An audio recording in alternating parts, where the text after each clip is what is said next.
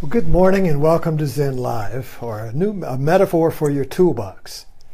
And uh, uh, last night we uh, was Friday night, and we watched had our Friday night movie, and we've been watching this uh, box set of Cary Grant movies. And uh, last night was um, the movie was uh, The Bachelor and the Bobby Soxer. Cary Grant, Myrna Loy, Shirley Temple. You see.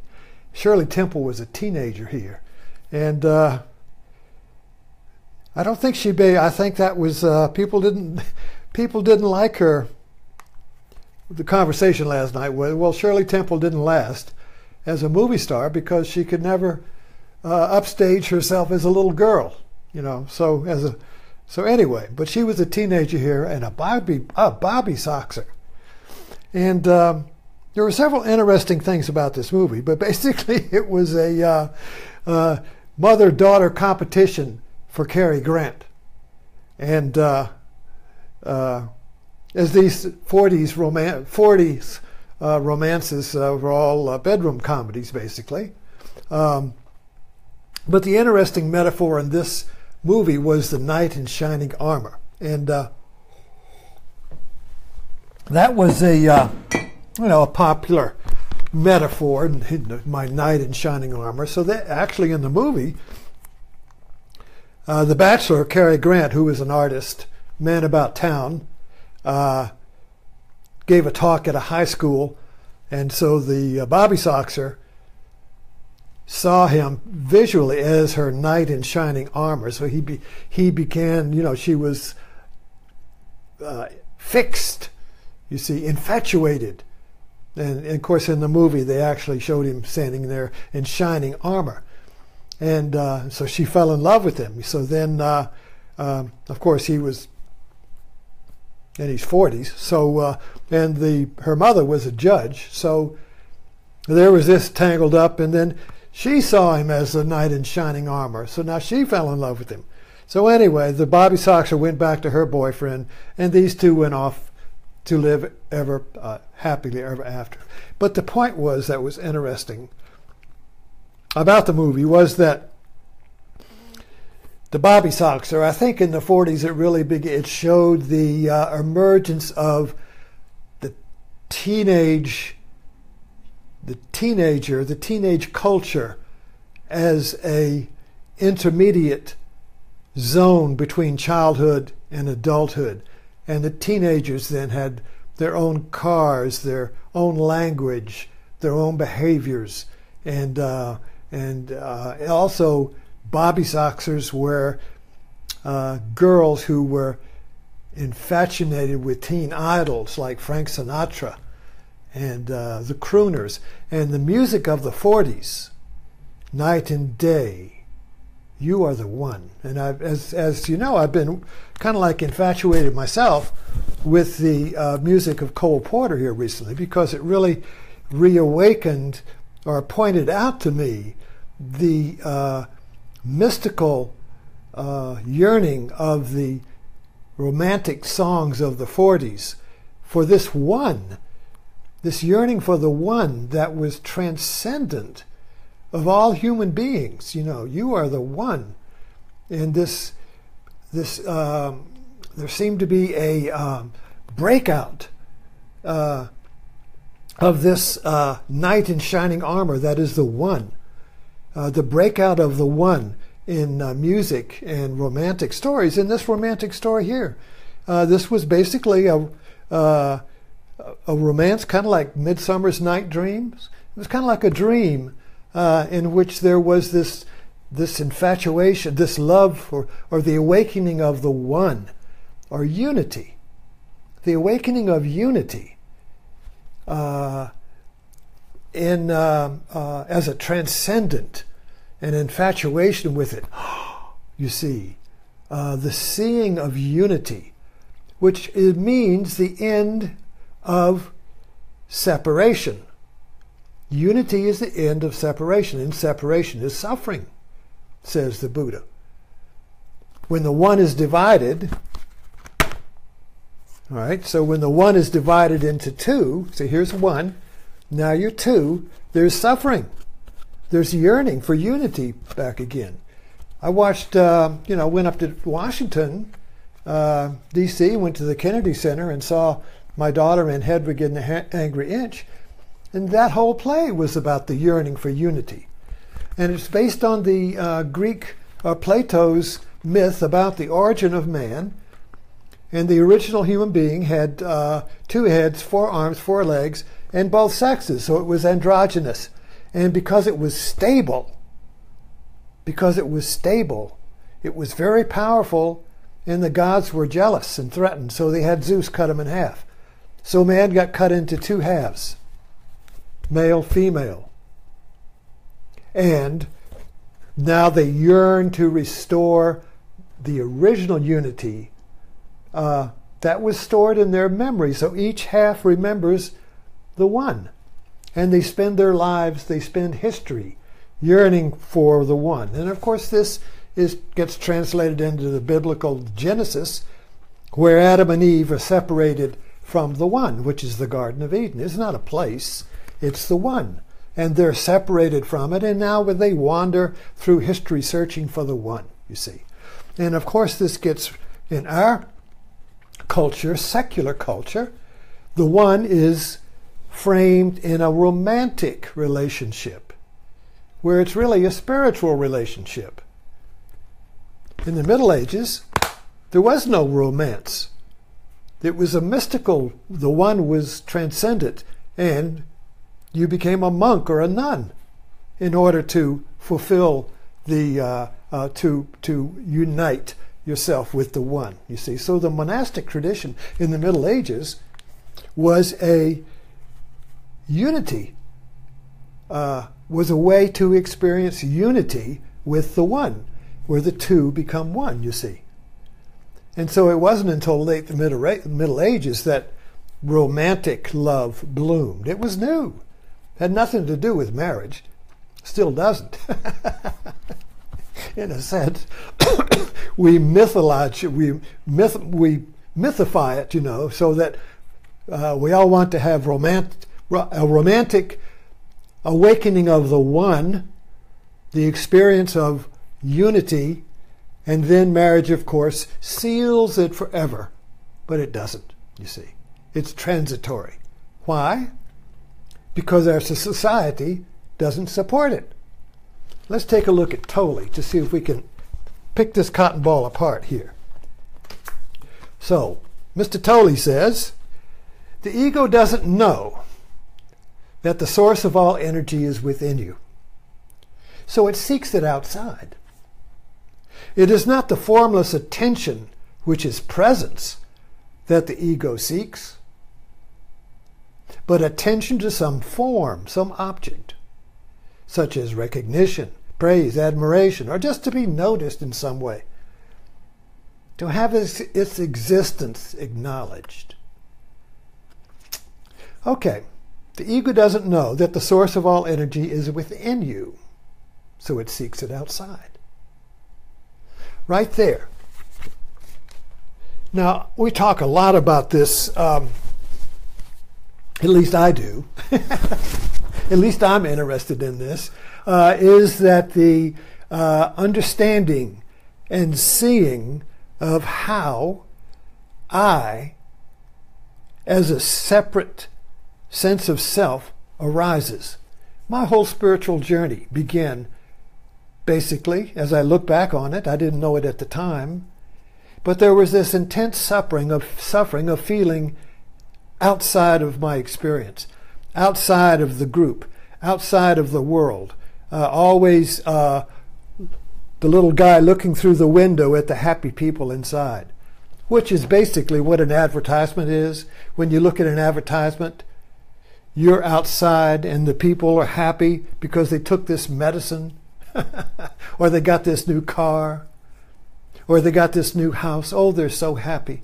And I'm kind of like out here, you see, looking through there, and they're so happy. Oh, I want that happiness. I want that unity. I want that presence. I want that love. What do I have to do? Oh, well, just buy this car. Or just get this house. Or just take this drug, you see. So that's the world we live in. The transcendent one the night and day, you are the one, is yearning inside of us, is yearning inside. We think about it all the day. We think about it all day. It's in the hide of us, this yearning. It's deep in the hide of us, you see. In the roaring traffic's boom, in the silence of my lonely room, I think of you, the one, you see. But this is not some form. But in our secular, materialistic, economically consumer world, the culture transubstantiates the transcendent one that our heart longs for into a product or an it.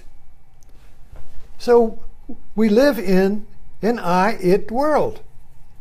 Now, it is just a uh, word, a fill in the blank for everything. This is an it. I'm an it. You're an it. The light's an it. The fan's an it. The room is an it. The cosmos is an it. The sun, the galaxy is an it.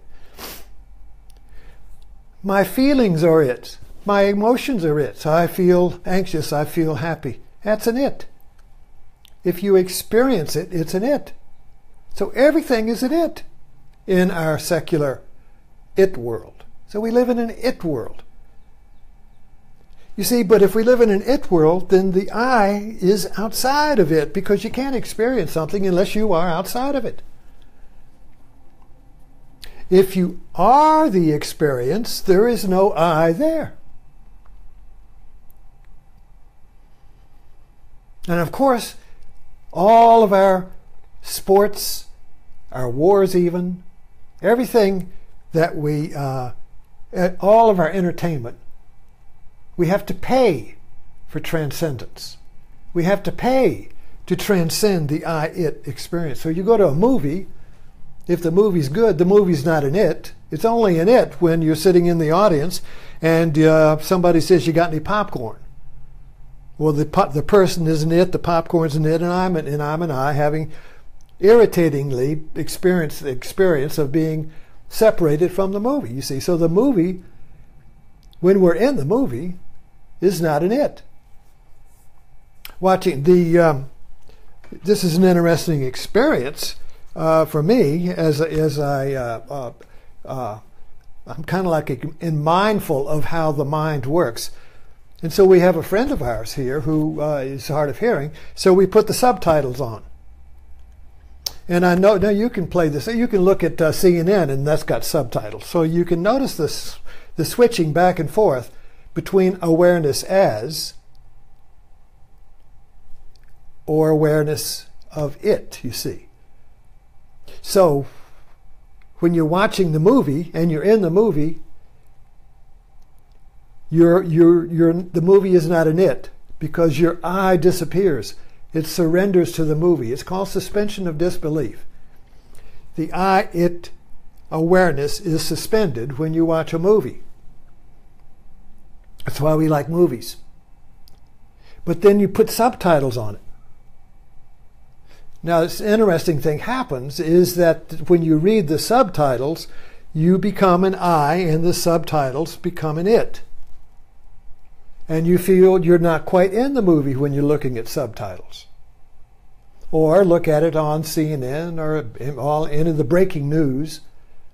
You're watching the breaking news, you're in it, and then there's a subtitle. Now, when you, you break the hold of the uh, awareness as the video, awareness as the news, is broken when you have to read the subtitle just check this out. It's an interesting thing. And then you can't you can't do both at once.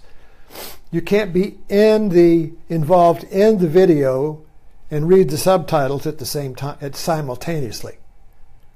So that's just kind of like a little uh, example of the flipping back and forth we go through all the time. So this I it you see is a separation from it. That's the way it works. And this is a necessary uh, awareness because it's a survival one. You know, I mean, if you're, I'm aware of that bus coming. The people that take you take LSD. I don't advise. I'm not saying do, but I'm just talking about the experience of drugs. The experience of why we're all addicted to drugs is because drugs dilute the I it experience of exile. You smoke pot, this becomes so you become the food. Oh, you become you are you are not aware of food, having an experience of food. You are the food. You are the tasting. You are what you are doing, you see. So let's get to the all right, so the, the Tolle says here, let's let's try and stay on track. the source of all energy is within you.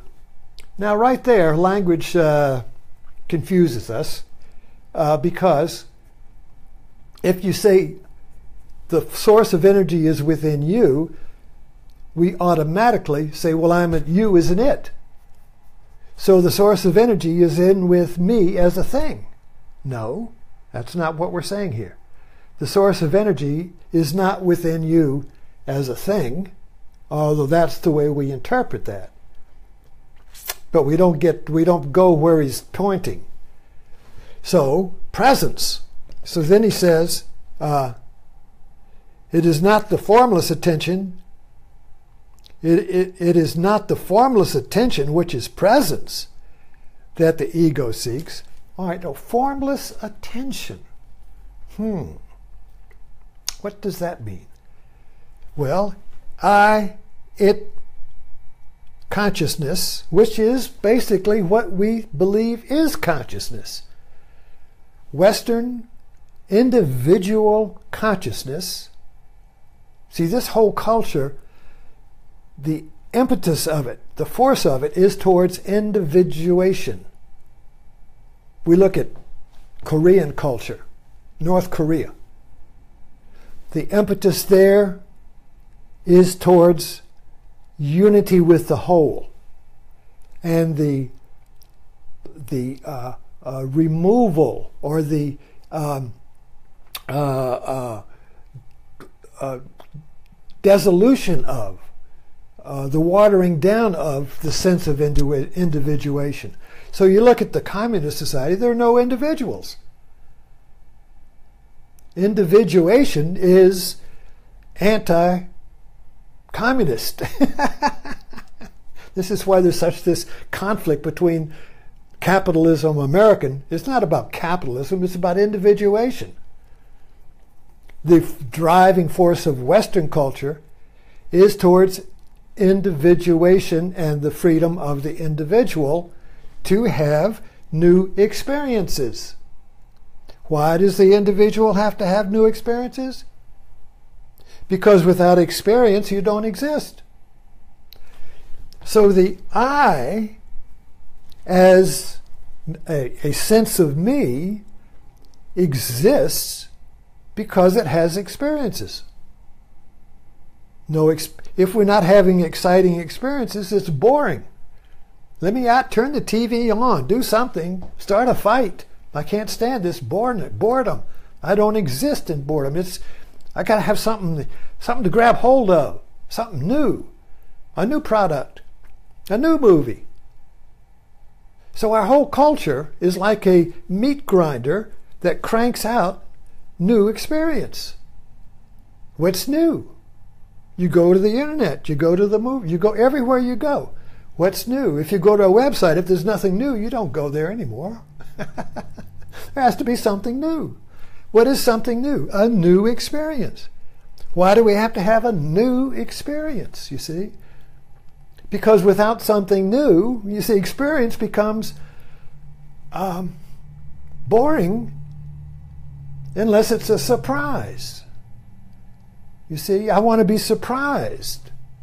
If I'm not surprised, I'm not having an exciting experience.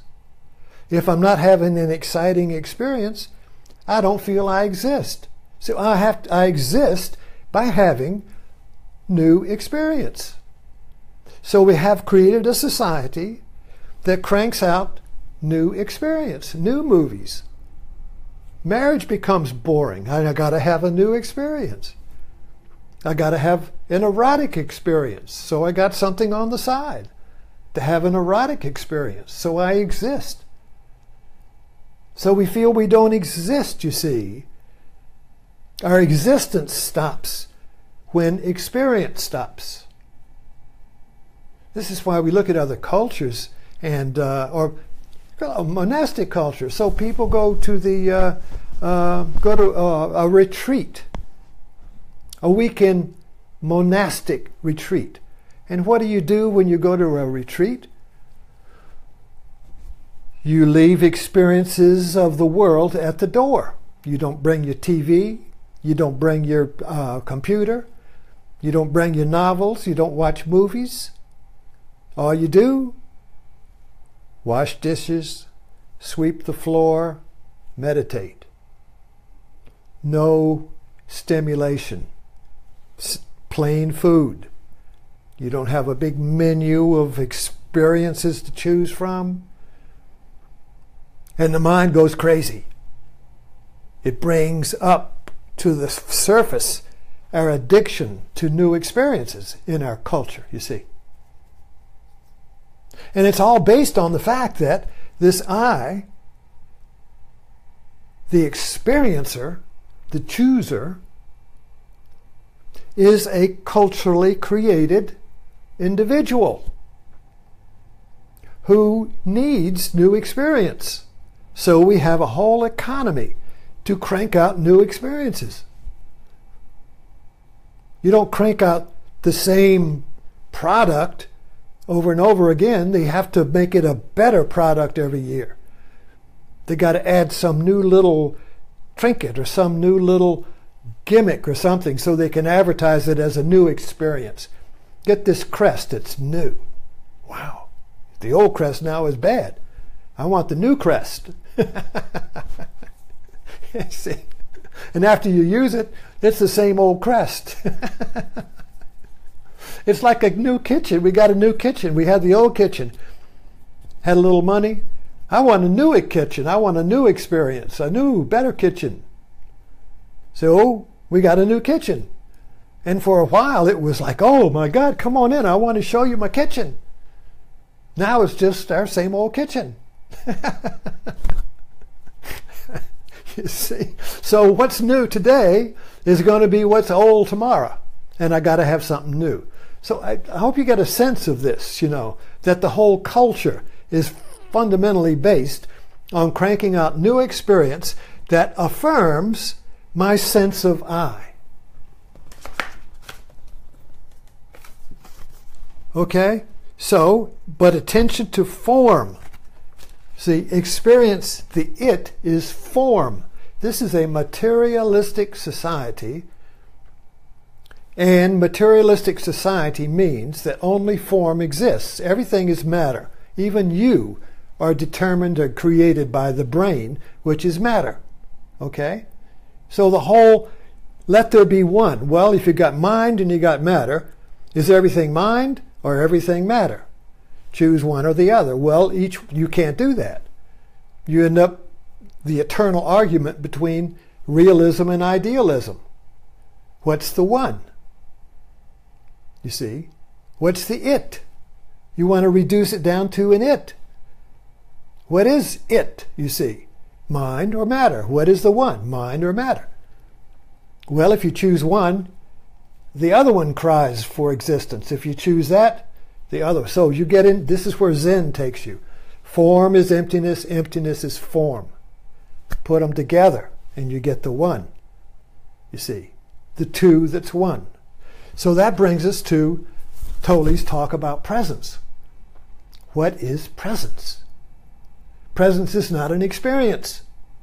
You can't have an experience of presence. Why? Because presence is not an it. We can only experience it. And when you experience it, you are having an experience of it, but you aren't it. You're having the experience of you. You are the experiencer, a sense of I outside of experience, having an experience. And the experience is going to be either pleasant or unpleasant or boring, neutral. So, of course, we want pleasant experience. And a pleasant experience is going to be a new experience. Old experience is not pleasant. You've had it. I already did that.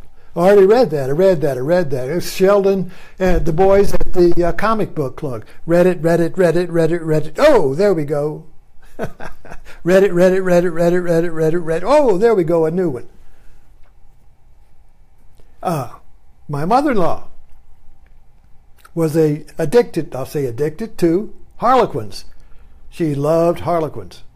Never threw one out. The whole when we moved in here, the whole house, every room had shelves and shelves and shelves of Harlequins. So, what was I going to say? But anyway, she she noticed once she was reading the Harlequin, and she realized that the author, using a different name, had written the same, taken the same plot, and just put it with uh, put new clothes on it put the same plot, same comment, same talk, same conversation in a new situation. So it wasn't good because she'd already had that experience, you see. Well, this is no good. It's no surprise here. Nothing new. It's just the old, rehashed old, recycled old. So uh, she called up Harlequin and reported it, and they just said, okay, they, all, they all do that. Send her some new books. anyway, to sum up, I got my clock there, so I don't want to run over. Presence is not an not an experience. So the source of energy is within, within presence. Presence is night and day, you are the one. Getting back to Cole Porter, this thing just keeps ringing in my head, you know. Me and you become one in a relationship that transcends experience and it becomes creative. Creative relations, creative creativity is transcendent of the experience of it. When it's get when it experience gets divided into either or, and you can't choose. That's called a double bind. Oh, should I choose this one or that? That one or this one? Oh, wow, wow, wow, I can't choose. Now, come help me choose this. Can't make up my mind on which cup. Would you help me? Which should I choose? I can't choose which philosopher. I can't choose which religion. I can't choose which person to marry. Yeah, I can't choose which it, you see. Uh, so, this inability to choose creates the conditions for a creative leap into a whole new idea. And that is, well, I'm really, I got to stop here because I'm moving into a whole other area. So we're going to end with that. And, uh, and we'll pick up this, we'll kick this can down the road here about what presence is and why presence is not experience. And how we get out of the search for new experience and stumble into presence. So thanks for dropping in. And uh, as you see, I, am uh, I'm, tr- I'm trying to stop from meandering on here for too long. So thanks for dropping in, and I'll see you this evening.